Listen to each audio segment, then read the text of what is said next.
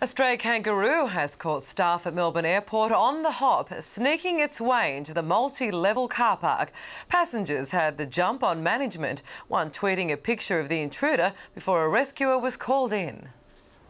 On foreign ground, this roo's time on the run was coming to an end. After hopping through the airport gates, it found its way up to level 5 of the long-term car park. Management forced to shut down the floor, waiting for wildlife rescue to arrive and sedate it. The two and a half year old Eastern Grey bounced into the airport about seven this morning. Very, very frightened, yeah. Just kept going and going, and it's toenails are worn down from being on the concrete. It took a tweet from a traveller to alert airport management. Others caught off guard. I think it'll go to that theory about kangaroos jumping down the street for all the international visitors. I think why because they need some shade.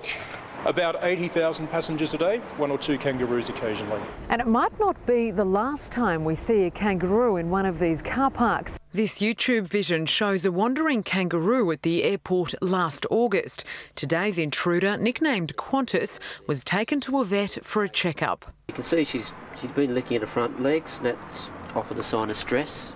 Qantas will stay with a carer tonight for observation and will hopefully be released back into the wild within 24 hours. Sarah Abo, 10 News.